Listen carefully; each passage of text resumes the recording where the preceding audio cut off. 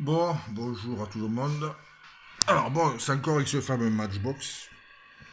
Je l'ai modifié complètement, encore. J'ai mis un interrupteur, un kilo SO239 châssis en plus. Ça fait que maintenant, on peut brancher deux antennes. Un transceiver, deux antennes. J'ai modifié la self, j'ai été obligé encore. Ah oui, parce que ça fait des rajouts de, de, petits, raccords de câble à l'intérieur. Donc il a fallu que je réadapte la self. Ça a été quand même assez, assez périlleux. Là, il y a trois petites spires. Oh, ça doit faire 10 cm. Fait bon, voilà, ça fonctionne. Je répète toujours sur une antenne qui est totalement désaccordée. Hein. Euh, elle doit avoir 5-6 de, de, TOS à peu près. C'est dans la maison, c'est infaisable, on fait que de bouger et ça tient pas accordé. Hein. Et je peux montrer.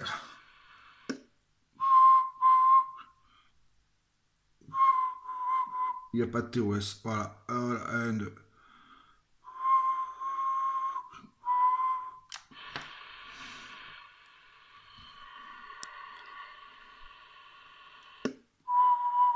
Voilà, ça brouille, on voit pas trop. Oh là, oh là, oh là. Voilà. Ce poste, il sort, euh, je sais pas, il doit sortir 60. Ouais, 50-60 watts. Voilà.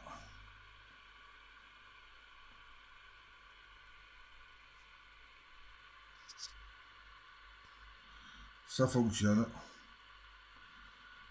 Il n'y en a pas sur le marché comme ça, des petits machins 27 mégas. C'est mon invention. Voilà.